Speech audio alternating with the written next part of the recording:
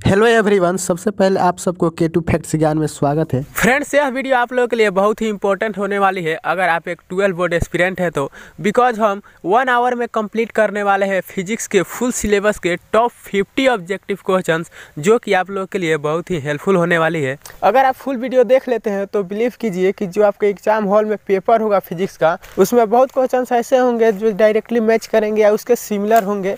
या इससे related concept use करने को या देखने को मिलेंगे। इसमें कुछ हवा हवाई नहीं होगा। इसमें हर क्वेश्चन को हम डिटेल्स में सॉल्व करेंगे डीपली सॉल्व करेंगे। और क्वेश्चन से रिलेटेड जो भी एक्स्ट्रा पॉइंट होंगे, वो हम सारे लिखवाएँगे। तो आप लोग कॉपी पेन ले करके बैठिएगा और जो भी पॉइंट्स है, वो आप लोग लिखते चलिएगा। एक अच्छे से नोट्स बना लीजिएगा ताकि वो आप हमेशा देखते रहें, आपको याद रहे। इसका पीडीएफ आप लोगों को टेलीग्राम चैनल पर मिल जाएगा, जिसका लिंक डिस्क्रिप्शन में है, वहाँ से आप लोग देख सकते हैं। और जो भी अभी तक चैनल सब्सक्राइब नहीं किए हैं, वो कर लीजिए और वीडियो को दोस्तों के साथ शेयर कीजिए ताकि उनकी भी हेल्प हो सके। तो चलिए क्वेश्चंस की तरफ़ मूव करते हैं। First question is the force acting between two electrons separated by distance r is proportional to यानी कि दो इलेक्ट्रॉन्स है, उसके बीच का डिस्टेंस आर है तो फोर्स और आर में क्या रिलेशन है, यही बताना है। तो इसके लिए आपको फोर्स का एक बहुत ही फ़ेमस फार्मूला होता है, जो आप लोगों को हमेशा याद होना चाहिए। वो होगा F is equals to one upon four pi epsilon naught q one q two by r square तो यहाँ पर पूछा है फोर्स और आर में रिलेशन तो आप लोग देख रहे हैं आर स्क्वायर कहाँ है? डी न्यूमिनेटर में है। तो यहाँ से हो जाएगा force is inversely proportional to r square तो यहाँ पर हम वन अपन आर स्क्वायर को क्या लिख सकते हैं? आर पावर माइनस टू लिखेंगे ना, क्योंकि यहाँ पे प्रोपोर्शनल पूछा है तो यहाँ पर force is proportional to r power minus two हो जाएगा। वहीं अगर इन्वर्सली प्रोपोर्शनल पूछता तो हो जाएगा इन्वर्सली प्रोपोर्शनल आर स्क्वायर होता, ठीक ना? प्रोपोर्शनल पूछा है तो आर पावर माइनस टू तो आप लोग ये ध्यान दीजिएगा तो यहाँ पर हो जाएगा आर पावर माइनस टू तो यहाँ पर option number C is the right answer r power minus two तो चलिए अब नेक्स्ट क्वेश्चन की तरफ़ मूव करते हैं। Second is, the dimensional formula for electric flux. Electric flux का डायमेंशनल फार्मूला पूछा है। तो इसमें बहुत ही कंसेप्ट यूज़ होगा। एक्स्ट्रा चीज़ें भी हम आपको बताएँगे, जिसके लिए हमने अलग से एक पेज ऐड किया है, क्योंकि इस छोटे से स्क्रीन पर सभी चीज़ लिख पाना काफ़ी डिफ़िकल्ट है। देखो, इस तरह के क्वेश्चन जब भी आए ना डायमेंशनल फार्मूला वाला तो जिसका पूछे उसका जो जो आपको फार्मूला है उसको रिकॉल कीजिए, और जिससे ईजी लगे उससे आप लोग जल्दी से बनाने की कोशिश कीजिए। जैसे यहाँ पर फ्लक्स का पूछा है डायमेंशनल फार्मूला तो यहाँ पर फ्लक्स का दो फार्मूला होता है तो वो हमने लिखा है, एक ए हो गया गॉस थ्योरम से और एक हो गया ये वाला, जो डिफिनीसन बताता है। ये यहाँ से दोनों से हम निकाल सकते हैं। तो यहाँ पर हम पहले से निकालते हैं। पहला क्या है? आपका flux is equal to q into one upon epsilon naught. यानी यहाँ पर क्यू का रखना होगा तो क्यू का, q q is equals to होता है आई टी। देखिए यहाँ पर हमने लिख रखा है कि इसक्वल टू आई टी और आई करेंट है तो उसका एम्पियर हो गया और टी का टी हो गया टाइम का टी हो गया। तो यहाँ से आप लोग यहाँ पे आप लोगों को रखना है और फिर क्या है? One upon epsilon naught का। अब देखिए, यहाँ पे एफ़ साइलेंट नोट का भी निकालने के लिए आप लोगों को दो तरीका है। यहाँ पे दो मीटर है आप लोग। एक हो गया कि आप लोगों के फोर्स का जो पिछले स्लाइड में मैंने फॉर्मूला बताया, उससे क्योंकि यहाँ पर भी आपका एफ़ साइलेंट नॉट है तो यहाँ से भी आप लोग निकाल सकते हो। या इससे इजी होगा कि अगर आप लोगों को एफ़ साइलेंट नोट का एक वैल्यू होता है, जो कि आप लोग को याद होना चाहिए तो यहाँ से भी आप लोग, यहाँ से भी आप लोग देखिए निकाल सकते हो। Coulomb square upon newton metre square तो यहाँ पर न्यूटन का क्या हो गया? जो फोर्स हो गया यानी यहाँ पर फोर्स का डायमेंशनल रखना है तो वहाँ उसको अभी हम यहाँ पर लिख दिए हैं। तो यहाँ से आप लोग रख करके यहाँ से जल्दी आ जाएगा साइलेंट नोट का डायमेंशनल और, और अगर यहाँ से आप लोग कीजिएगा यहाँ पर तो यहाँ पर थोड़ा लेंदी हो जाएगा। तो यहाँ से भी आप कर सकते हैं फोर्स का। तो यहाँ पर one upon epsilon naught को one upon epsilon naught को एक तरफ़ रखिए एक साइड में और बाकी सबको एक साइड में। तो यहाँ पर हमने रखा है। और जो यहाँ पर देखिए वन अपन फोर फाइव ये तो डायमेंशन लेस है तो इसको छोड़ करके बाकी अलग अलग कर दिए हैं। और यहाँ पर जो है, यहाँ पर आप लोग जिसका जिसका वैल्यू मतलब जिसका जिसका आपको डायमेंशन रखना है, यहाँ पर रख करके आप लोग सॉल्व कीजिएगा।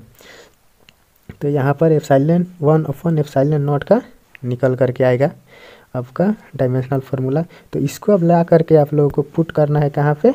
यहाँ पर। तो यहाँ पर जब आप लोग फुट कर दीजिएगा तो आंसर निकल के आएगा ये वाला। तब आप लोग यहाँ पर एक कन्फ्यूज़ मत होइएगा कि यहाँ पर ए माइनस वन है और ऑप्शन में आई माइनस वन है। यहाँ पर दोनों देखिएगा, जो दिया होगा वही आंसर है, क्योंकि यहाँ पर आई का मतलब हो गया करंट और एक का उसका एम्पियर हो जाएगा यूनिट तो ए माइनस वन दिया होगा या आई माइनस वन दिया होगा, जो दिया होगा वही आपका राइट आंसर होगा। तो यहाँ पर आई दिया है तो आई वाला आपका राइट आंसर हो जाएगा।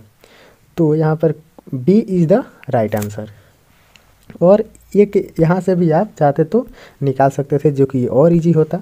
इसका डिफिनीसन से फ्लक्स का डिफिनीसन होता है इलेक्ट्रिक फ़ील्ड इंटू क्या बताता है? एरिया तो यहाँ पर इलेक्ट्रिक फ़ील्ड का एक फॉर्मूला होता है इलेक्ट्रिक फ़ील्ड का क्या होता है? Electric field is equals to force upon q naught आप लोगों को ये भी याद रखना है एक। आप लोग ये याद रख लेना इलेक्ट्रिक फ़ील्ड का फॉर्मूला। तो यहाँ पर हम लोग इसका वैल्यू जो जो है, उसका वैल्यू और एरिया का आप लोगों का सबका रखिएगा आप लोग डायमेंशनल फार्मूला तो वो निकाल करके आपका वहीं आ जाएगा, जो हमने यहाँ पर निकाला है। तो यहाँ पर B is the right answer तो यहाँ पर देखिए, मैंने एक ही क्वेश्चन में आप लोगों को बहुत चीज़ें बताई, जो कि आप लोगों को हमेशा याद रखना है। जैसे कि आप लोगों को फ्लक्स का फॉर्मूला एक ए हो गया एक हो गया ये वाला डिफिनीसन वाला, ये हो गया आपका ये हो गया आपका किसका? गॉस थ्योरम से। गॉस लव जो कहता है और ये डिफिनीसन से। और एक हो गया आपका ये वाला फ्लक्स फोर्स वाला। आप लोगों को ये ज़रूरी है। ये बहुत इंपॉर्टेंट है तो ये तो आप लोगों को याद रखना ही है हमेशा। और एक हो गया आपका ये वाला क्यू ये तो ईजी है।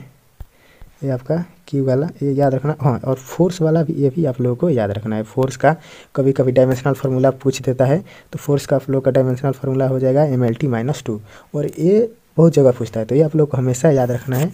ये वाला इंपॉर्टेंट है बहुत। और फिर एक यहाँ पर आप लोग देखिए, ये वाला भी बहुत इंपॉर्टेंट है जब साइलेंट नोट का वैल्यू कभी कभी वैल्यू भी पूछ सकता है। तो यहाँ से भी आप लोग याद रखना है सब। तो यहाँ पर कुछ चीज़ें हैं जो मैंने एक्स्ट्रा चीज़ें बताई है, जो कि आप लोगों को नोट कर लेना है, अच्छे से याद रखना है। देखिए, इसमें टाइम तो लगा इस क्वेश्चन में, लेकिन हमने बहुत एक्स्ट्रा चीज़ें बताई। तो जो कि आप लोगों के लिए हेल्पफुल है। एग्ज़ाम में जो भी आए आप लोग, उसको सॉल्व कर सकते हैं।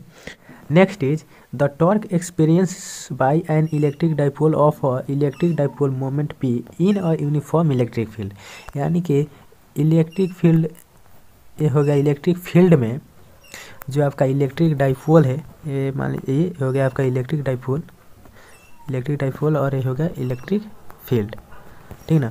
और इसके बीच का एंगल मान लीजिए थीटा है। तो ये डायरेक्ट पूछा है कि इसके रिस्पेक्ट में जो टॉर्क है, वह क्या होगा? तो टॉर्क इसके रिस्पेक्ट में होता है, इसमें क्रॉस होता है, यानी पी क्रॉस ये होता है। यही चीज़ आपको ध्यान रखना है, क्योंकि यहाँ पर ऑप्शन डॉट वाला भी होगा और क्रॉस वाला भी होगा। तो यही ध्यान देना है कि इसमें हमको क्रॉस वाला लिखना है। तो इसमें डायरेक्ट यही पूछा है तो आपका यहाँ पर देखिए option number A is the right answer होगा। अब इसमें जो एक्स्ट्रा चीज़ है, जो मैं आपको बताने वाला हूँ, वो इम्पोर्टेंट है। ठीक ना? तो वो जो चीज़ है, मैं आपको बता रहा हूँ कि यहाँ पर इसको हम क्या लिख सकते हैं टॉर्क को? क्रॉस है अगर तो क्रॉस के बदले में हम क्या लिखते हैं? साइन थीटा यानी पी ई साइन थीटा हो गया ना? अगर यहाँ पे डॉट होता तो कॉस थीटा लिखते तो यहाँ पर अब एक अलग क्वेश्चन यह बन बन सकता है कि थीटा के किस वैल्यू पर जो टॉर्क है वो मैक्सिमम हो जाएगा। ठीक है ना? तो मैक्सिमम होने के लिए साइन थीटा को वन होना पड़ेगा। तो वन होने के लिए थीटा का वैल्यू क्या रखेंगे हम? 90 डिग्री रखेंगे। तो साइन थीटा का थीटा का वैल्यू हम, अगर 90 डिग्री रखें तो टॉर्क जो है वह पी ई होगा और यही मैक्सिमम टॉर्क होगा। ठीक है ना? और या, या तो ये क्वेश्चन ऐसे ही बन सकता है कि थीटा के वैल्यू 90 पर जो टॉर्क है वह क्या होगा? तो टॉर्क क्या हो जाएगा? आपका यही हो जाएगा पी ई हो जाएगा। ठीक ना? ऐसे भी ऑप्शन दिया होगा। तो ऐसे क्वेश्चन बन सकता है। तो ये हो गया आपका मैक्सिमम टॉर्क के लिए थीटा का वैल्यू क्या होना चाहिए? और एक और क्वेश्चन बन सकता है कि थीटा के किस वैल्यू पर आ, जो आपका मैक्सिमम टॉर्क है वह हाफ़ हो जाएगा। ठीक ना? यानी जो जो टॉर्क है, वह सॉरी जो टॉर्क है, वह क्या हो? जाए थीटा के किस वैल्यू पर आपका हाफ़ हो जाएगा? तो मैक्सिमम वैल्यू क्या होता है? पी ई होता है ना? तो इसको हाफ़ होने के लिए क्या हो, करना पड़ेगा? साइन थीटा को हमको वन अपन टू में बदलना होगा, ठीक है ना?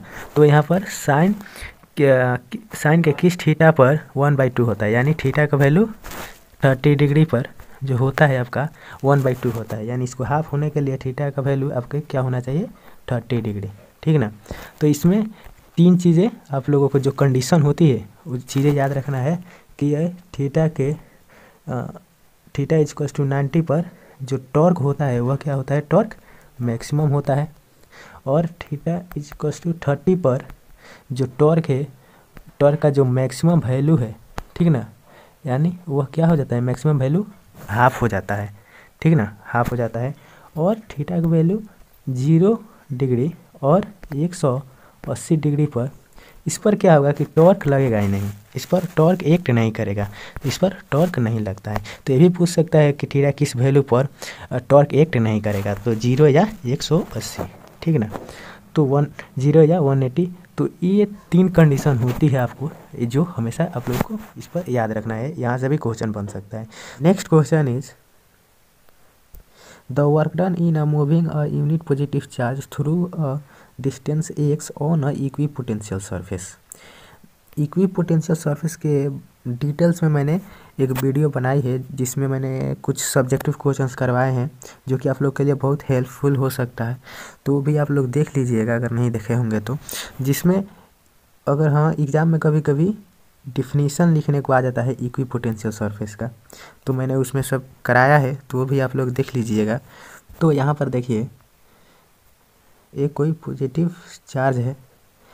यहाँ से ए वाल ए हो गया आपका इक्वी पोटेंशियल सरफेस और यहाँ पॉजिटिव चार्ज से आपका क्या है? इलेक्ट्रिक फ़ील्ड निकल रही है। ये जो है इलेक्ट्रिक फ़ील्ड यहाँ से निकल रही है।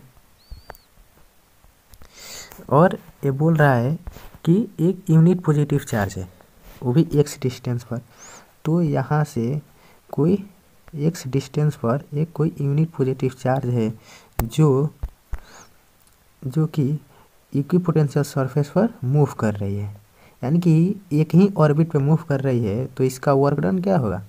Work done work done zero ना होगा, क्योंकि इसमें कोई डिस्प्लेसमेंट नहीं आ रहा है तो इसका वर्क डन जो होगा ज़ीरो होगा। तो इसका राइट आंसर क्या हो जाएगा? C C is the right answer इसमें एक चीज़ और समझने वाली बात है कि इसमें पूछ देगा कि ये जो इलेक्ट्रिक फ़ील्ड लाइन्स है और ये जो इक्वी पोटेंशियल सरफेस है, ये वाला, इसके बीच का जो एंगल होता है वह कितने होता है तो वो होता है नाइन्टी डिग्री या, याद रखना है आप वो होता है कितना? नाइन्टी डिग्री देखिए हर क्वेश्चन से रिलेटेड हम ज़्यादा से ज़्यादा चीज़ें बताने की कोशिश कर रहे हैं ताकि पेपर में कैसा हूँ घुमा करके क्वेश्चन आए आप लोग उसको बना लो वो छूटे नहीं.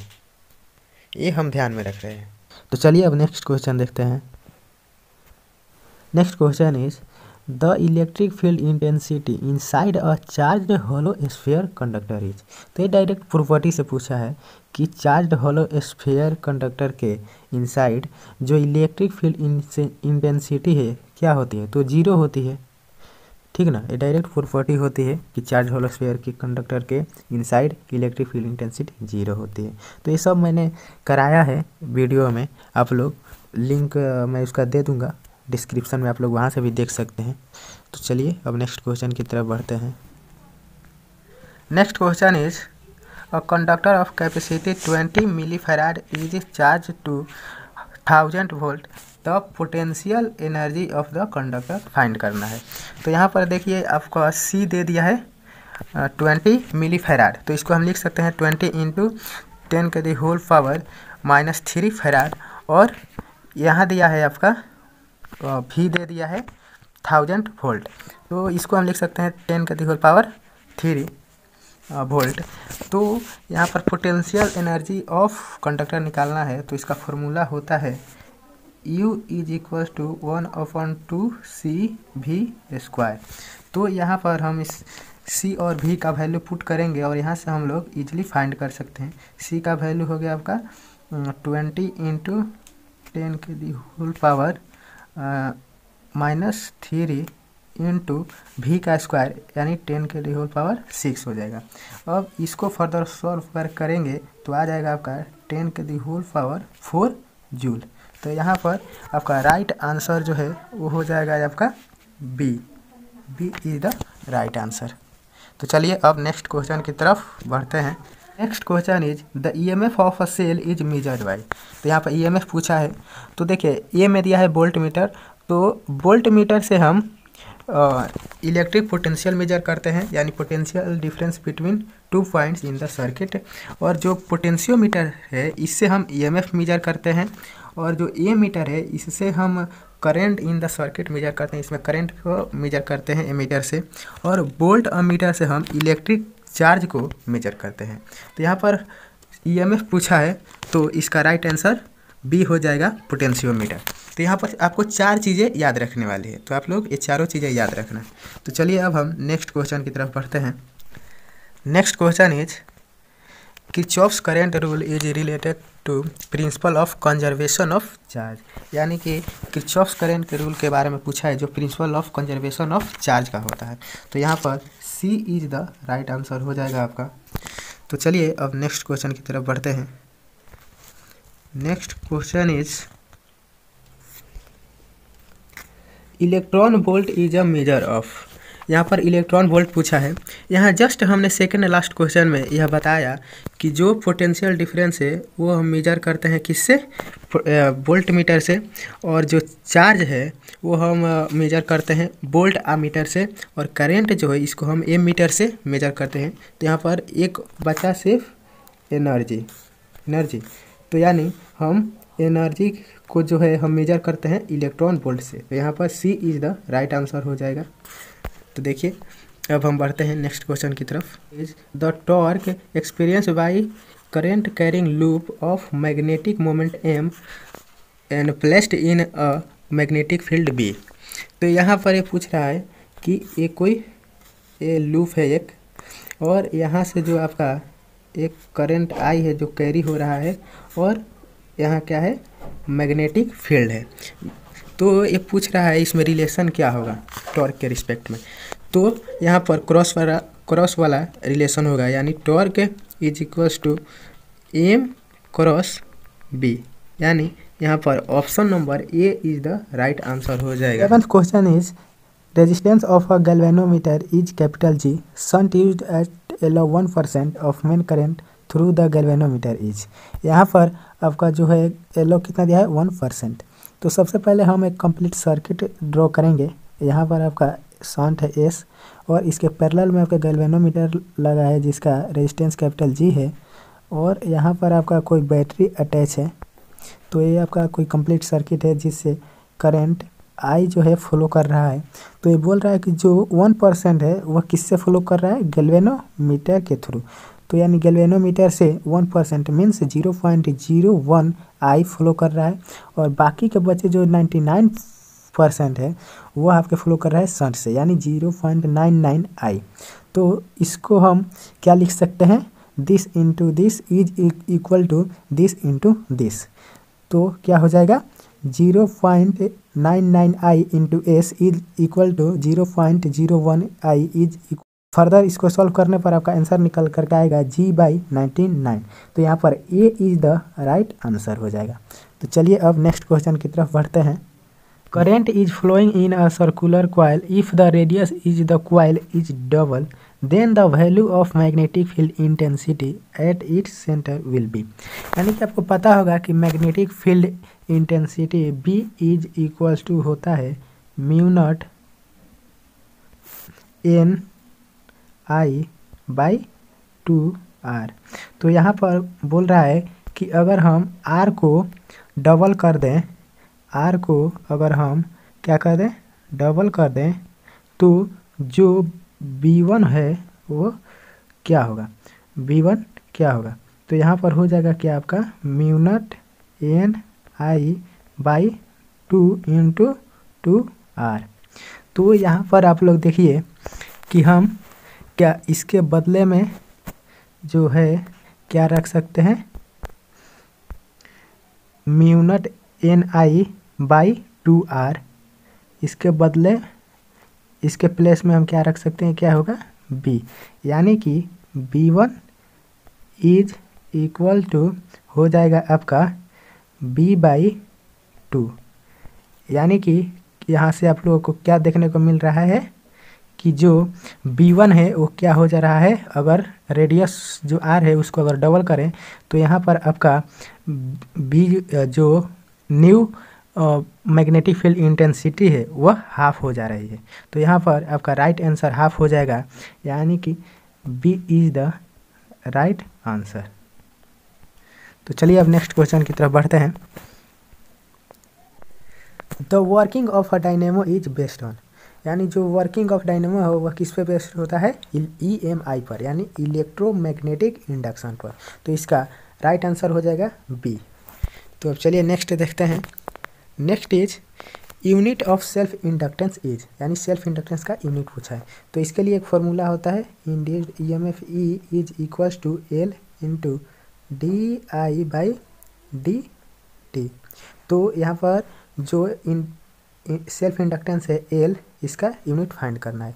तो हमको इसको एक साइड रखेंगे और बाकी सबको एक साइड तो एक, क्या हो जाएगा? L is equals to E D T by D I तो यहाँ पर देखिए ई जो ई एम एफ़ है, उसका यूनिट हो जाएगा वोल्ट और टाइम का हो जाएगा सेकंड और जो आई है, उसका हो जाएगा एम्पियर तो यहाँ से आप लोग देखिए, जो होता है आपका वोल्ट पर एम्पियर यहाँ पर इसका ये होता है किसके इक्वल इस ओम के ओम होता है, उसके इक्वल होता है इनटू सेकंड तो इसी को हम बोलते हैं ओम इंटू सेकेंड क्या होता है? इज़ इक्वल होता है हेनरी इज़ इक्वल्स होता है हेनरी ओके ना? तो यहाँ पर राइट आंसर क्या हो जाएगा? आपका हेनरी यानी C is the right answer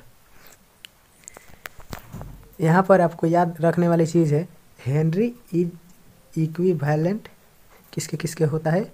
ohm into second और एक होता है वेबर। Weber by ampere. और आपको ये भी पता होना चाहिए कि वेबर जो है, वह किसका यूनिट होता है? फ्लॉक्स का। ठीक है ना? तो ये आप लोग तीन चीज़ें याद रखिएगा। तो इसका राइट आंसर क्या हो जाएगा? C is the right answer तो चलिए अब नेक्स्ट क्वेश्चन देखते हैं। If n1 and n2 are number of turns in primary and secondary coil of a transformer, then. तो यहाँ पर आपको ये चीज़ याद रखने वाली चीज़ है N S is greater than N P means जो number of turns in secondary coil is greater than number of turns in primary coil यह आपका होता है। तो यहाँ पर देखिए एन वन जो है वह किसके लिए है? प्राइमरी के लिए और एन एन टू जो है वह सेकेंडरी के लिए है। तो हम एन प्राइमरी ए के प्लेस पर हम एन वन रखेंगे और सेकेंडरी के प्लेस पर हम एन टू रखेंगे। तो बात वही है, यानी N two is greater than N one तो ये आपका राइट आंसर हो जाएगा, यानी B is the right answer तो चलिए अब नेक्स्ट देखते हैं। Power factor of L R circuit L R circuit कैसा होता है? वो होता है, ये हो गया एल और ये हो गया आर और यहाँ से कोई बैटरी अटैच है और एक कंप्लीट सर्किट है। ये एल हो गया, ये आर होता है। तो यही हो गया आपका एल आर सर्किट तो इसका पावर फैक्टर पूछा है। तो पावर फैक्टर इक्वल होता है R by root under R square plus omega square L square तो यही होता है आपका आंसर, पावर फैक्टर। और ये जो डिनोमिनेटर में है वो रिजल्टेंट होता है। तो इसका राइट आंसर क्या हो जाएगा? B is the right answer तो चलिए अब नेक्स्ट क्वेश्चन देखते हैं। The ratio of value of magnetic field B vector at same distance from mid point of a small magnet at its axial and equatorial position तो इसमें magnetic field पूछ रहा है एक्सियल और इक्विटोरियल पोजीशन पर। तो जो मैग्नेटिक फ़ील्ड होता है एक्सियल पर, वो होता है mu naught two M upon four pi R cube और जो मैग्नेटिक फ़ील्ड होता है इक्विटोरियल पर, वो होता है mu naught M upon four pi R cube तो यहाँ पर हम देखेंगे कि इसका क्या पूछ रहा है रेशियो तो रेशियो अगर इसका देखेंगे तो क्या हो जाएगा? इससे फोर पाई आर क्यू से four pi R cube cancel हो जाएगा और म्यूनट से म्यूनट एम से एम यहाँ पर बचेगा आपका सिर्फ़ two race two one two ratio one तो यहाँ पर आपका राइट आंसर हो जाएगा टू रेस टू वन यानी A is the right answer next angle of dip से क्वेश्चन है. The angle of dip at magnetic pole of earth is 90 degree means B is the right answer next is the direction of transmission of electromagnetic wave is parallel to E cross B not will be B cross E ये आप लोगों को ध्यान देने वाली चीज़ है, क्योंकि कन्फ्यूज़ कर सकता है. तो पहले इलेक्ट्रिक फ़ील्ड होता है देन क्रॉस में आपका मैग्नेटिक फ़ील्ड होता है. तो आप लोग याद रखना है.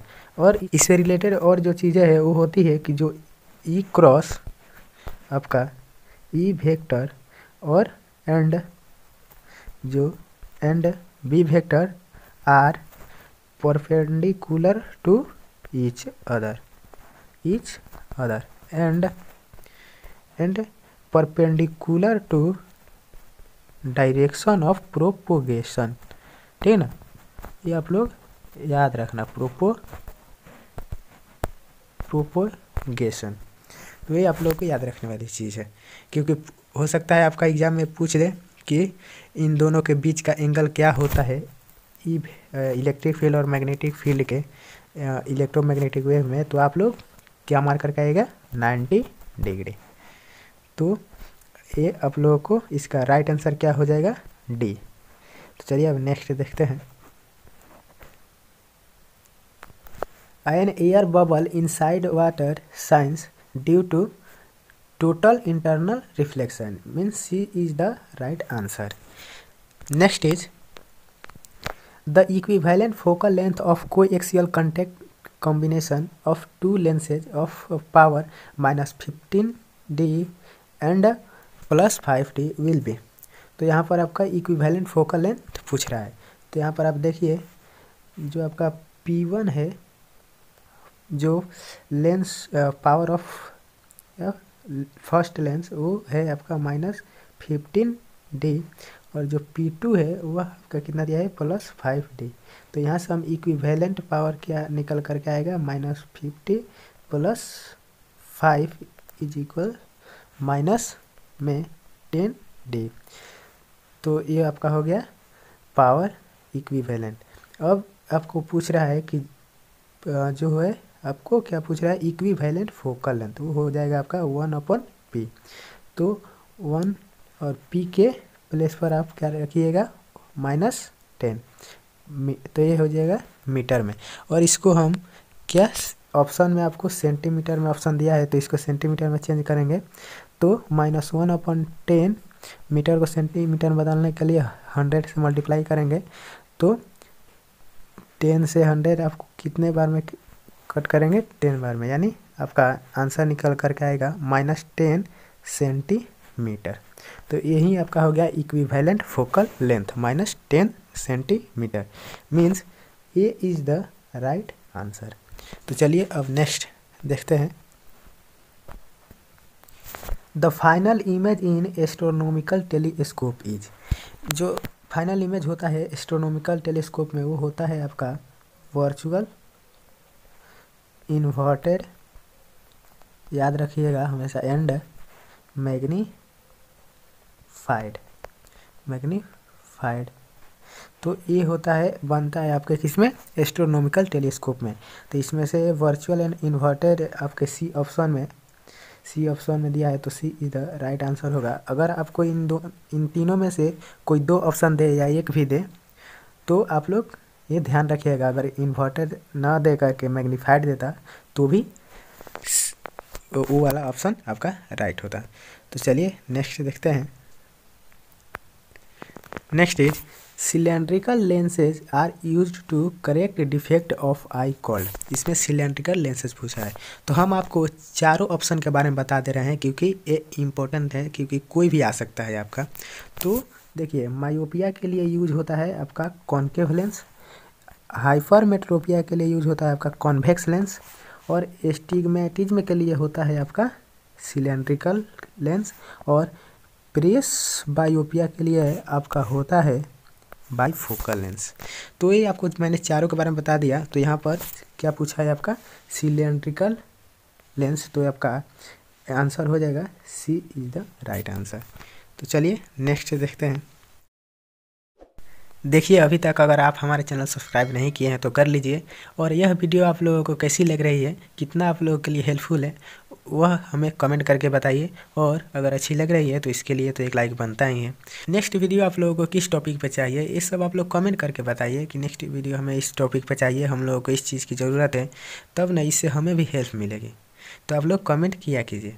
तो चलिए नेक्स्ट क्वेश्चन देखिए in Rayleigh scattering of light intensity of scattered light is proportional to the wavelength lambda in the form of तो ये होता है क्या होता है आपका amount amount of intensity intensity is proportional to fourth power fourth power of lambda यानी wavelength तो ये आपका होता है, आपका क्या आंसर हो जाएगा? One upon lambda power four यानी कि आपका option number D is the right answer तो चलिए अब नेक्स्ट देखते हैं। Next is the colour of a thin film is due to diffraction और स्केटरिंग ये तो होगा नहीं डिस्पर्सन भी नहीं होगा। इसका राइट right आंसर हो जाएगा इंटरफेरेंस यानी A is the right answer next is Brewster law is यानी अगर आप लोगों ने ऑप्टिक्स में पोलराइजेशन पढ़ा होगा, वहीं आप लोगों को ब्रिवेस्टर लॉ पढ़ना है।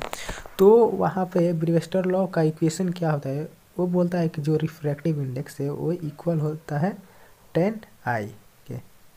तो यहाँ पर जो होता है आपका, ये जो होता है आपका रिफ्रैक्टिव इंडेक्स होता है refractive index of medium mu और यहाँ पर आई जो हो आई या आई पी भी यहाँ पर आप लोग लिख सकते हैं आई पी इससे समझ आएगा। आई पी यानी पोलराइजेशन एंगल होता है। ये जो होता है आई पी ये होता है आपका पोलराइजेशन एंगल तो यह ब्रिवेस्टर लॉ का इक्वेशन यही होता है। Means B is the right answer next is the energy of a photon of wavelength lambda is यहाँ पर एनर्जी ऑफ़ फोटोन पूछा है तो इसका फॉर्मूला होता है E is equal to H C by lambda यार एच जो होता है आपका प्लैंक्स कांस्टेंट होता है, वो क्या होता है? प्लैंक्स कांस्टेंट होता है आपका प्लैंक्स कांस्टेंट और इसका जो वैल्यू होता है वह होता है six point six three round off into ten power thirty four joule second तो ये जो लाइन है, आप लोगों के लिए इम्पोर्टेंट है, क्योंकि कभी कभी एग्ज़ाम में डायरेक्टली पूछ देता है कि what is the value of Planck's constant या ऐसे भी पूछ सकता है कि what is the unit of Planck's constant तो वैल्यू आप लोगों को याद रखना है, और आप लोग न्यूमेरिकल जब सॉल्व करोगे ना तो उसमें भी आप लोगों को एज का वैल्यू याद रखना पड़ता है, उसमें पुट करना पड़ता है प्लैंक्स कांस्टेंट का। और यूनिट जो है यूनिट भी इसका इम्पोर्टेंट है जूल सेकेंड यूनिट अगर पूछे तो आप लोग जूल सेकेंड तो ऑप्शन में आपको जूल पर सेकंड भी होगा, जूल सेकंड भी होगा तो ये आप लोगों को ध्यान रखना है, दो चीज़ है प्लैंक्स कांस्टेंट से। और यहाँ पर एक चीज़, देखिए, एक और चीज़ है, यहाँ पर क्या है सी सी जो है आपका, वो क्या है, आपका स्पीड ऑफ़ लाइट है, और इसका वैल्यू जो होता है, three into ten power eight metre पर सेकेंड होता है। तो ये भी आप लोगों को वैल्यू जो है, इसका याद रखने वाली चीज़ है। क्योंकि ये भी न्यूमेरिकल में यूज़ होता है। तो ये इतनी चीज़ें आप लोगों को याद रखनी है। तो चलिए नेक्स्ट क्वेश्चन देखते हैं। Next is which of the spectral line of hydrogen spectrum lies in visual region यहाँ पर सिर्फ़ विजुअल रीजन में जो कौन सी, जो सीरीज़ होती है, वो लाई करती है, ये पूछा है। तो चलिए इससे पहले हम आपको जो जो सीरीज़ होती है, उस और किस रीजन में लाई करती है, वो हम बताते हैं। जो इम्पोर्टेंट है तो इसमें जो होती है आपकी फ़र्स्ट होती है आपकी लाइमन सीरीज़ जो लाई करती है Lyman series lies in ultraviolet region जो लाइमन सीरीज़ है अल्ट्रा वायलट रीजन में लाई करती है, और सेकंड इज़ बालमर सीरीज़ जो कि विजुअल लाइट में लाई करती है, और जो पाश्चन है Paschen series lies in ultra infrared light. तो ये जो तीन चीज़ें हैं, ये कौन सी सीरीज़, किस रीजन में लाई करती है, ये आप लोगों के लिए बहुत इंपॉर्टेंट है, जो कि इसमें से कोई भी आपको ऑब्जेक्टिव में, इसमें से कोई भी आपको आ सकता है। तो ये तीनों चीज़ें याद रखिएगा और इसमें से जो आए, यहाँ पर इन दोनों में कन्फ्यूज़ मत होइएगा लाइमन और पासन इसको अच्छे से याद क्योंकि उसमें भी अल्ट्रा है इसमें भी अल्ट्रा है। तो लेकिन उसमें लाइमन में अल्ट्रा वायलट है और इसमें अल्ट्रा फेराड है। तो ये आप लोग अच्छे से याद कर लीजिएगा। इसमें से बहुत चांस है मतलब कि आने का। तो ये याद रखिएगा। तो चलिए, यहाँ पर लेकिन इसमें क्या पूछा है? विजुअल रीजन पूछा है। विजुअल रीजन में कौन सी जो स्पेक्टर लाइन है कौन सी सीरीज़ है जो लाई करती है? तो वो हो गया आपका विजुअल रीजन या विजुअल लाइट में तो हो गया आपका बालमल, बालमर सीरीज़ यानी option A is the right answer. अगर आपको चीज़ें समझ आ रही हो तो वीडियो को लाइक कीजिए और इसे दोस्तों के साथ शेयर कीजिए ताकि उनको भी हेल्प मिल सके। तो चलिए नेक्स्ट क्वेश्चन देखते हैं। Next is which one of the following is a chargeless particle यहाँ पर चार्जलेस पूछा है। तो यहाँ पर आप लोगों को पता होगा कि जो अल्फ़ा पार्टिकल होता है वो पॉजिटिव चार्ज होता है। बीटा पार्टिकल जो होता है वो आपका निगेटिव चार्ज होता है। प्रोटॉन जो होता है वो भी पॉजिटिव होता है। और एक और होता है इसमें आपका पार्टिकल में गामा गामा जो होता है, आपका ये न्यूट्रल होता है। तो ये भी आप लोग याद रखिएगा। और इसमें देखिए, इसमें जो आपका ऑप्शन डी है फोटोन यही जो होता है आपका चार्जलेस पार्टिकल होता है। तो D is the right answer तो ये चीज़ें आप लोग याद रखिएगा। एग्ज़ाम में ऐसे भी अगर पूछ दे कि अल्फ़ा पार्टिकल की नेचर कैसी होती है तो निगेटिव होती है। और beta sorry alpha particle positive होती है बीटा निगेटिव होती है और गामा जो है, वो न्यूट्रल होती है। तो ये चीज़, इतनी चीज़ें आप लोग याद रखिएगा। तो चलिए अब नेक्स्ट क्वेश्चन देखते हैं। और next is the time during which the quantity of any radioactive material becomes half of its original value is called तो ये डिफिनीसन है और ये डिफिनेशन किसका है? हाफ़ लाइफ का। हाफ़ लाइफ जो होता है, वो होता है आपका हाफ़ लाइफ इसकी वैल्यू भी आप लोग याद रखिएगा। ये क्या होता है? T half T half is equal होता है आपका। इसका वैल्यू कितना होता है? आपका zero point six nine three upon lambda तो ये जो होता है ना आप लोगों के लिए, अगर ऑब्जेक्टिव में या न्यूमेरिकल में आप लोगों को सिर्फ़ लेमडा का जो है वैल्यू दिया हो और उसका हाफ़ लाइफ पूछे तो आप लोग इस पर पुट करके, सिर्फ़ लेमडा का वैल्यू पुट करके आप लोग यहाँ से फाइंड कर सकते हैं हाफ़ लाइफ तो ये हो गया आज तो इसका राइट आंसर क्या होगा? बी हाफ़ लाइफ और अगर इस half life B is the right answer या अगर हाफ़ लाइफ का डिफिनीसन भी पूछे तो आप लोग ये लिख सकते हैं। The majority charge carrier in N type semiconductor is तो यहाँ पर एन टाइप सेमीकंडक्टर में क्या होता है जो मेजोरिटी चार्ज आपका कैरी करता है? तो वो आपका होता है इलेक्ट्रॉन एन टाइप सेमीकंडक्टर में इलेक्ट्रॉन होता है जो मेजोरिटी चार्ज कैरी करता है। और इससे रिलेटेड ये भी आ सकता है कि पी टाइप सेमीकंडक्टर में क्या होता है जो मेजोरिटी चार्ज कैरी करता है तो वो आपका हो जाता है होल तो आप लोग को को ये चीज़ें याद रखनी है कि एन टाइप में इलेक्ट्रॉन होता है। एन टाइप में एन टाइप सेमीकंडक्टर में आपका इलेक्ट्रॉन होता है जो मेजोरिटी चार्ज कैरी करता है और पी टाइप में जो होता है आपका होल्स होल्स जो होता है वो मेजोरिटी चार्ज कैरी करता है। तो इसको आप लोग इसमें कंफ्यूज मत होइएगा। देखिए, वो बहुत बच्चे इसमें कंफ्यूज हो सकते हैं कि एन टाइप में क्या होगा पी टाइप में क्या होगा। तो उसके लिए हम आपको एक चीज़ बता रहे हैं। अब इसको हम याद रख सकते हैं हमेशा के लिए जो एन एन है एन एन मीन्स निगेटिव और जो इलेक्ट्रॉन पे कौन सा चार्ज होता है? निगेटिव चार्ज तो इसको आप लोग ऐसे रिलेट करके आप लोग याद रख सकते हो कि एन से निगेटिव और इलेक्ट्रॉन पर निगेटिव चार्ज तो ये याद रहेगा तो आपको पी टाइप का डेफिनेटली याद हो जाएगा. तो ये दो चीज़ें याद रख लेना और और भी दो चीज़ें हम बता रहे हैं इसमें. वो है आपका कि एन टाइप में सबका आप लोग नोट्स अच्छे से पॉइंट बना बना करके आप सब इसको नोट कर लीजिएगा, क्योंकि ये बहुत हेल्प करेगा आपको। तो एन टाइप में अब इम्प्योरिटी भी पूछ सकता है कि एन टाइप में कौन सी इम्प्योरिटी होती है तो वो होती है आपकी ट्राई वायलेंट वो होती है ट्राई वायलेंट इम्प्योरिटीज इसमें ट्राई वायलेंट इम्प्योरिटीज होती है। तो अब ट्राई वायलेंट इम्प्योरिटीज क्या होती है? कौन सी होती है? तो वो होती है जिस एलिमेंट के वैलेंस इलेक्ट्रॉन कितने हैं? Valence electron three like group number thirty आप लोग देखिएगा ग्रुप नंबर थर्टी में आपको वैलेंस इलेक्ट्रॉन थ्री मिलेगा। लाइक ब्रॉन हो गया गैलियम हो गया, और तो वैसे ही अब एन टाइप में भी होता है आप लोग एन टाइप में। एन टाइप में आपका क्या क्या हो जाए, इसमें जो इम्प्योरिटी होती है, वो होती है आपका पेंटा पेंटा वायलेंट ठीक ना? पेंटा वायलेंट होती है। पेंटा वायलेंट और इसमें जो पेंटा वायलेंट क्या होता है तो जिसकी जिसके वैलेंस इलेक्ट्रॉन में कितने वैलेंस इलेक्ट्रॉन कितने हो? पाँच वैलेंस इलेक्ट्रॉन हो तो वो आपका एन टाइप में आते हैं इम्प्योरिटी के रूप में। तो इसके एग्जांपल्स आपको हो जाएगा ग्रुप नंबर फिफ्टीन से आर्सेनिक हो जाएगा एंटी मनी एस बी हो जाएगा। तो हम आपको ये सारी चीज़ें बता रहे हैं क्योंकि क्वेश्चंस कैसे भी आ सकता है इधर उधर घुमा करके भी आ सकता है। तो इसलिए हम आप लोगों को सभी चीज़ें बता रहे हैं। तो आप लोग सभी चीज़ें पॉइंट बना करके आप लोग अच्छे से नोट कर लीजिएगा नोट्स बना लीजिएगा, ये देखते रहिएगा।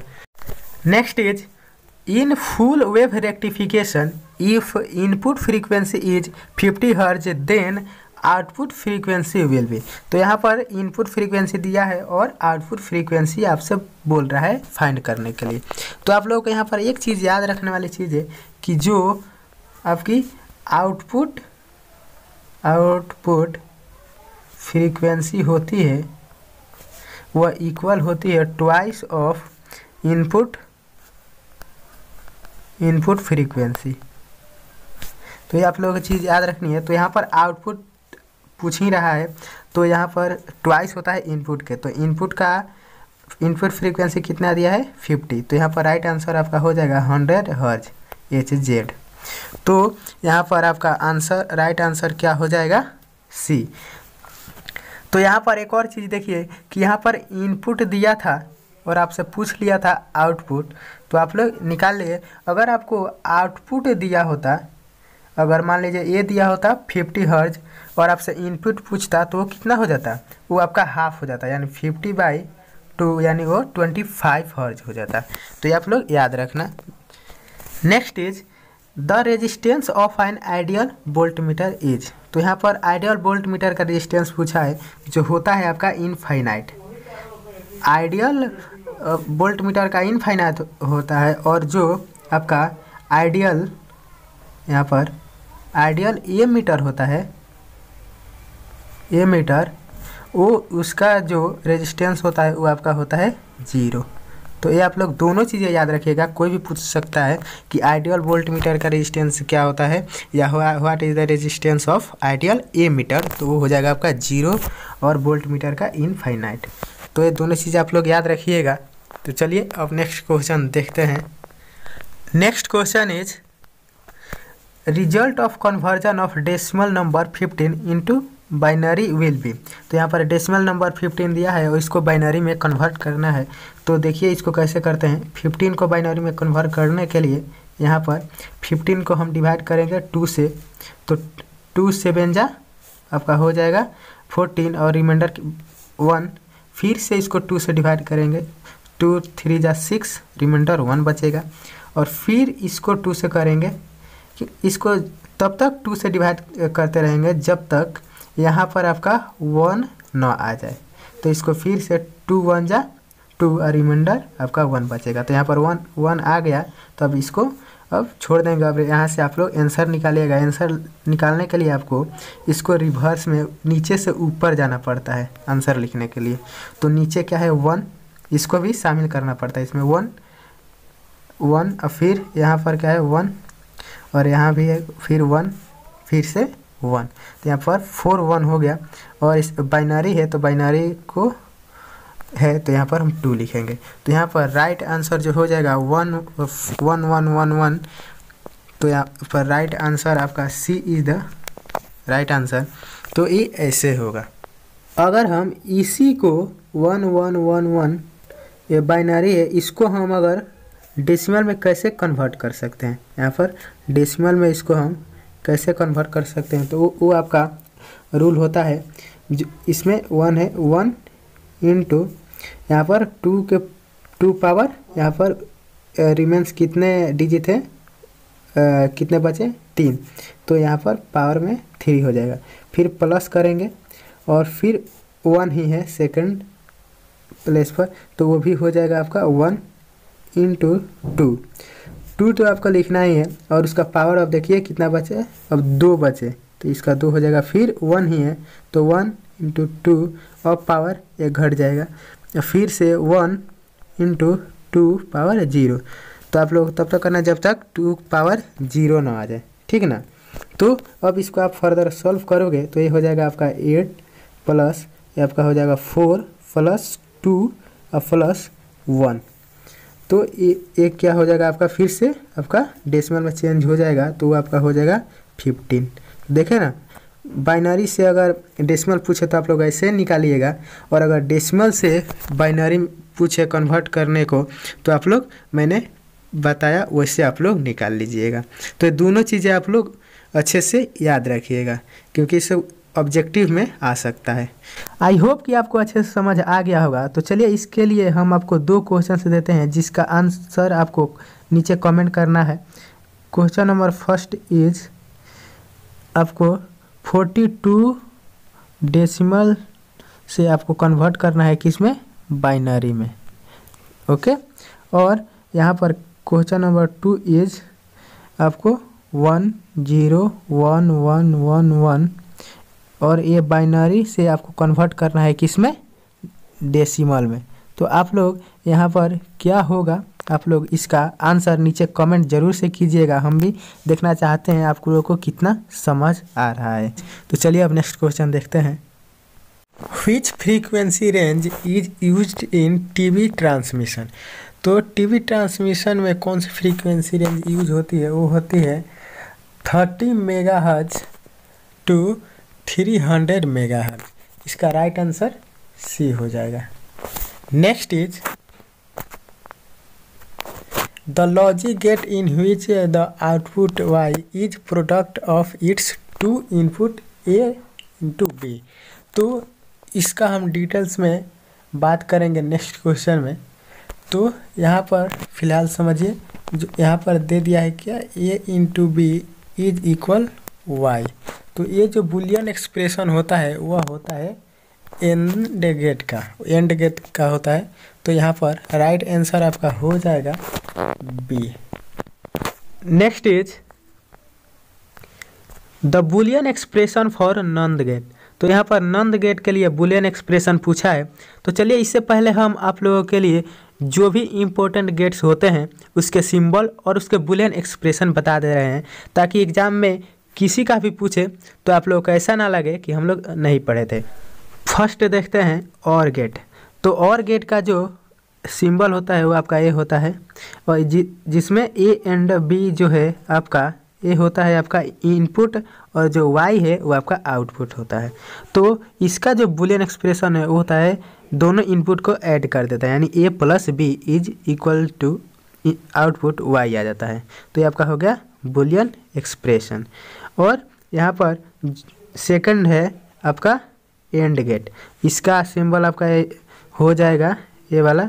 और इसका जो बुलियन एक्सप्रेशन होता है, वो उसको मल्टीप्लाई कर देते हैं. दोनों इनपुट को मल्टीप्लाई ए इंटू बी तो ये होता है, और जो नॉर गेट होता है नॉर गेट तो देखिए नॉर गेट और और गेट नॉर से ही सॉरी और से ही यहाँ पर नॉर बना है. देखिए कैसे. सिंबल आपका सेम ही है. सिर्फ़ आपको यहाँ पर थोड़ा सा डिफरेंट देखने को मिलेगा। यहाँ पर आपका जो पॉइंट लगा है, यहाँ पर एक पॉइंट बना है। तो यही सिंबल में डिफरेंस होता है और बुलियन एक्सप्रेशन में भी सिर्फ़ बार का डिफरेंस होता है। यहाँ पर सिर्फ़ ए प्लस बी का बार हो गया है और इसमें जो है सिर्फ़ ए प्लस बी होता है। तो ये हो गया और नेक्स्ट है नॉन गेट है तो ये नॉन गेट आपका एंड गेट से ही बना है। देखिए, कैसे? सिंबल सेम है। सिर्फ़ यहाँ पर, एक यहाँ पर पॉइंट जैसा दिखाई दे रहा है, होता है। और इसका भी जो एंड का होता है ए इन टू बी और इसका भी ए इंटू बी होता है, पर इसका बार होता है। ठीक ना? और नेक्स्ट है नॉट गेट इसका सिंबल आपका ये होता है तो ये डिफरेंट होता है, और इसमें जो है ना, आपका सिर्फ़ एक ही इनपुट होता है। ओके तो इसका जो बुलियन एक्सप्रेशन है, वो सिर्फ़ उसी का बार होता है इनपुट ए का बार तो ये जो आप लोगों की ये टोटल चीज़ें हैं, आप लोगों को इसमें से ये सारी चीज़ें आप लोगों को हमेशा याद रहनी चाहिए। ठीक ना? बहुत ही आप लोगों के लिए इम्पोर्टेंट है। ठीक ना? ये याद रखने वाली चीज़ है। क्योंकि एग्ज़ाम में आप लोगों को ऐसे बोल सकता है, आप लोगों को मान लीजिए ये वाला आपका दे दिया बुलियन एक्सप्रेशन और पूछ दिया कि यह किस गेट का बुलियन एक्सप्रेशन है। तो इनटू देखिएगा तो एंड हो जाएगा। अगर प्लस देखिएगा तो वो और हो जाएगा। या आप लोगों को सिंबल भी पूछ सकता है कि सिंबल किसका है। तो इस तरह से कुछ भी पूछ सकता है। तो आप लोग हर तरह से जिस टॉपिक को पढ़ रहे हैं उसको अच्छे से पढ़ लीजिए ताकि कोई भी उससे कितना घुमा करके क्वेश्चन आए, आप लोगों से छूटे नहीं। तो देखिए अगर हम क्वेश्चंस के इतना डीप में जा करके उससे रिलेटेड हर कंसेप्ट एक्स्ट्रा चीज़ें अगर हम बता रहे हैं तो इसके लिए तो टाइम लगेगा ही थोड़ा वीडियो लंबी होगी। तो इसे आप लोग घबराइएगा मत। अगर आप लोगों को आता है तो स्किप करके आगे बढ़ सकते हैं। हम ऐसे बना रहे हैं जैसे कि आ, हम सबके लिए बना रहे हैं जिसको नहीं पता है उसके लिए भी ताकि किसी को ऐसा ना लगे कि हमने ये पढ़ा था ये नहीं पढ़ा था। तो यहाँ पर देखिए नॉन द गेट का बुलियन एक्सप्रेशन पूछा है।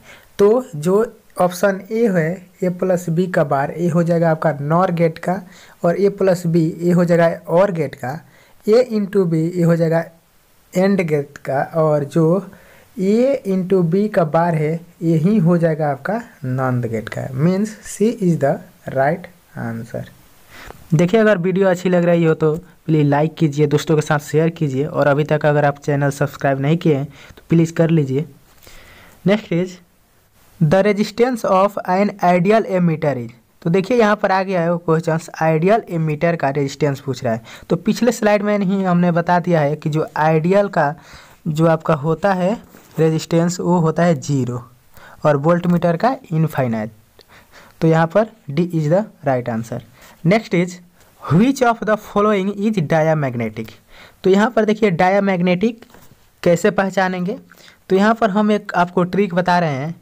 कि अगर आपका नंबर ऑफ़ इलेक्ट्रॉन अगर आपका इवेन हो ओके इवेन तो वो आपका होता है डाया मैग्नेटिक और अगर नंबर ऑफ़ इलेक्ट्रॉन अगर आपका ऑड हो तो वो आपका होता है आपका पैरा मैग्नेटिक तो आप लोग ट्रिक होता है ये याद रखने के लिए, लेकिन इसमें भी एक्सेप्शन होता है कि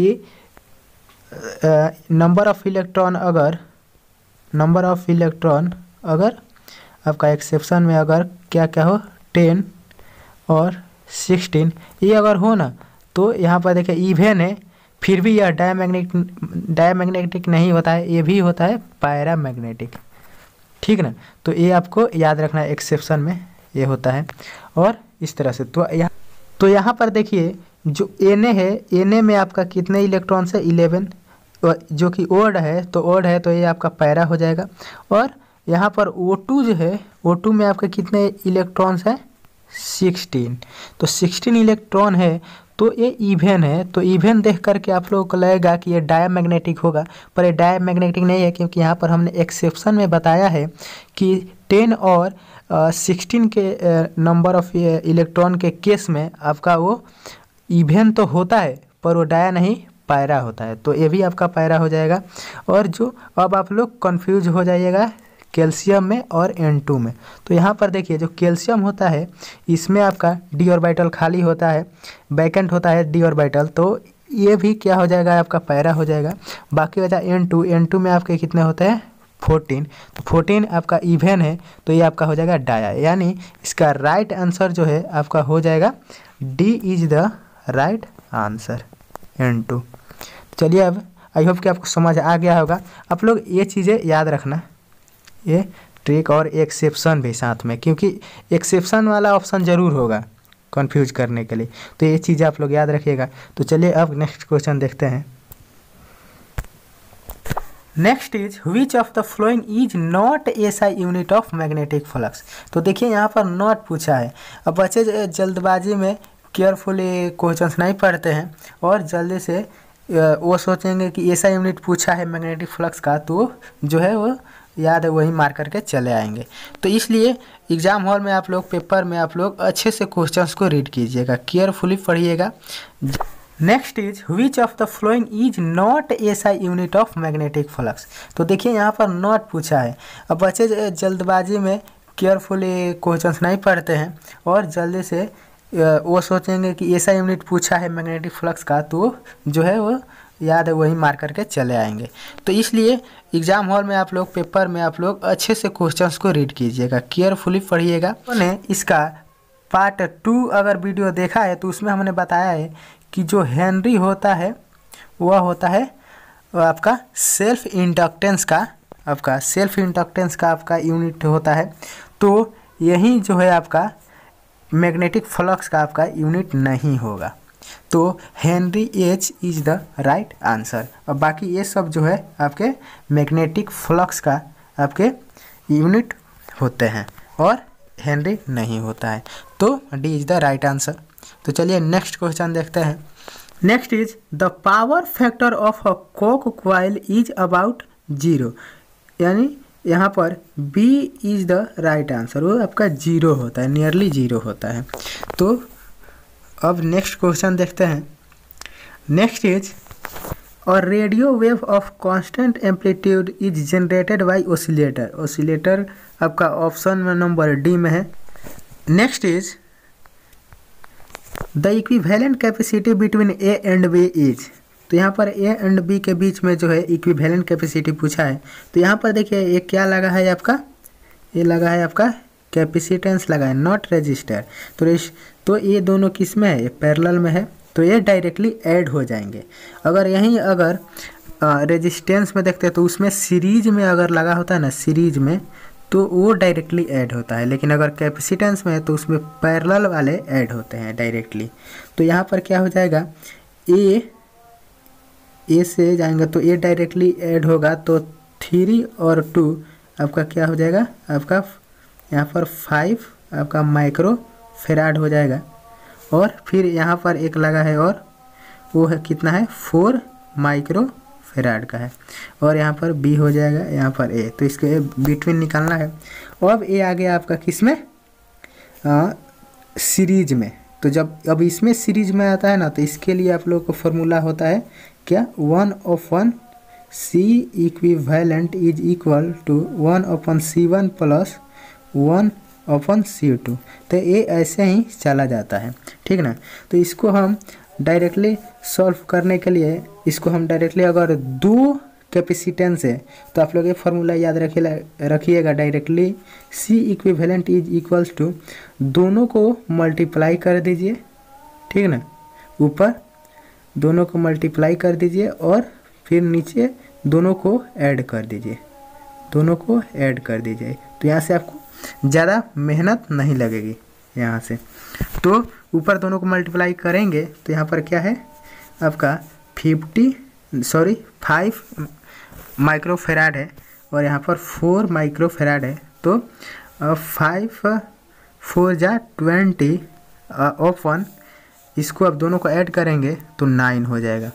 तो माइक्रोफेराड तो इसका राइट आंसर हो जाएगा ट्वेंटी बाई नाइन माइक्रोफेराड यहाँ पर A is the right answer हो जाएगा। तो आई होप कि आपको समझ आ गया होगा। तो चलिए अब नेक्स्ट क्वेश्चन देखते हैं। Next is the what angle do two electric field intersect each other तो यहाँ पर बोल रहा है कि किस एंगल पर दो इलेक्ट्रिक फ़ील्ड लाइंस इंटरसेक्ट करेगी एक दूसरे को।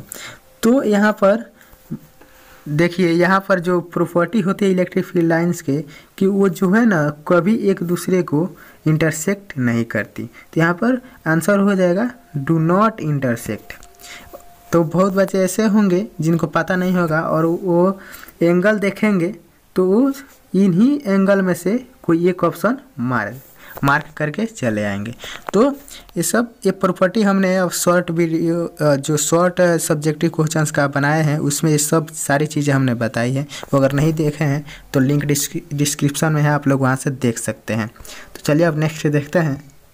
Next is which has longest wavelength यहाँ पर लॉन्गेस्ट वेवलेंथ पूछा है। तो चलिए इसका आंसर देने से पहले हम आपको इससे रिलेटेड वो सारी चीज़ें बता दे रहे हैं ताकि लॉन्गेस्ट वेवलेंथ पूछे या शॉर्टेज वेवलेंथ पूछे या फ्रीक्वेंसी पूछे, आप सभी चीज़ें बता सकते हैं एक ट्रिक से। तो चलिए, वो ट्रिक हम बता रहे हैं और वो ट्रिक आप लोगों के लिए ही है। वो आप लोगों को बहुत जल्दी याद हो जाएगा, मुझे पता है। तो चलिए, वो ट्रिक क्या है? वो है, Radio Mirchi I love you ex girlfriend तो ये हो गया। यहाँ रेडियो से आपका हो गया रेडियो वेव एम से माइक्रोवेव हो गया, आई से इंफ्रारेड हो गया, एल से लाइट हो गया, यू से अल्ट्रा वायलेट हो गया, एक्स से एक्स रेज हो गया और जी से गामा रेज हो गया। तो ये होता है, इसी ऑर्डर में होता है।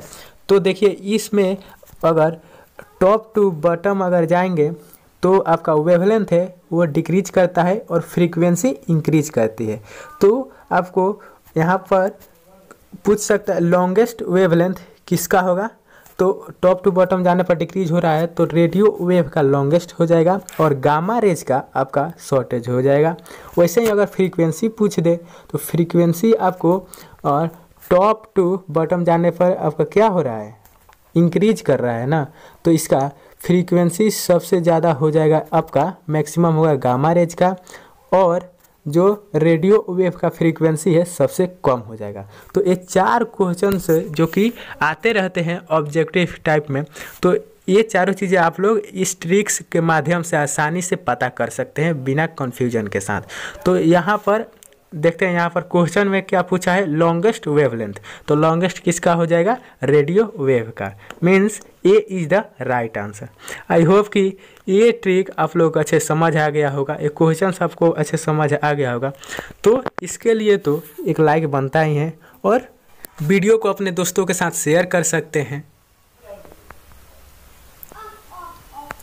The majority charge carrier in P type semiconductor देखिए, ये भी क्वेश्चन आ गया। मैंने पिछले स्लाइड में मैंने बताया था, शायद पिछले क्वेश्चन में प्रीवियस क्वेश्चन में कि उसमें एन टाइप वाला बताया था। तो वहाँ पर पी टाइप का भी बताया था कि इसमें जो होल्स होते हैं, वो कैरी करते हैं मेजोरिटी चार्ज ठीक ना? तो यहाँ पर B is the right answer तो अब नेक्स्ट देखते हैं। Next is the resistance of ideal ammeter is I think यह क्वेश्चन डबल हो गया है। तो चलिए इसका क्या आंसर आइडियल मीटर का आपका क्या होता था? ज़ीरो होता था और बोल्ट मीटर का आपका इनफाइनाइट होता था। तो A is the right answer next is the resistance of two bulbs of 25 watt two twenty volt and 100 watt two twenty volt will be higher तो यहाँ पर हायर रेजिस्टेंस पूछा है। तो यहाँ पर आप लोगों को याद रखने वाली एक चीज़ है। पावर इज़ इक्वल टू होता है आपका वी स्क्वायर बाई आर तो यहाँ पर देखिए, जो भी है, वह दोनों में सेम है two twenty volt two twenty volt तो यहाँ पर बी से हमें मतलब नहीं है। यहाँ पर हमें मतलब है आर और पी से पावर से। तो यहाँ पर देखिए हायर पूछा है ना तो आर ये जो रेजिस्टेंस है, इसको हायर होने के लिए यहाँ पर क्या करना पड़ेगा? पावर को कम करना पड़ेगा। पाई अगर पावर मिनिमम होगा अगर डिक्रीज करेगा तो रेजिस्टेंस जो है आपका हायर होगा। तो इसके लिए जिसका पावर कम होगा, मिनिमम होगा, उसका रेजिस्टेंस हायर होगा। तो यहाँ पर किसका पावर जो है कम है, वो है ट्वेंटी फाइव का। तो इसका पावर जो है आपका इसका रिफ्रेक्टिव इंडेक्स, ठीक है ना? ये माइनस नहीं, ये पॉइंट है। तो चलिए नेक्स्ट क्वेश्चन देखते हैं। Next is the SI unit of surface density of charge. यहाँ पर सरफेस डेंसिटी ऑफ़ चार्ज पूछा है तो वह इक्वल होता है क्यू बाई एरिया यानी चार्ज बाई एरिया तो चार्ज का हो जाएगा आपका कुलम और एरिया का हो जाएगा आपका मीटर स्क्वायर तो यहाँ पर देखिए राइट आंसर क्या हो जाएगा?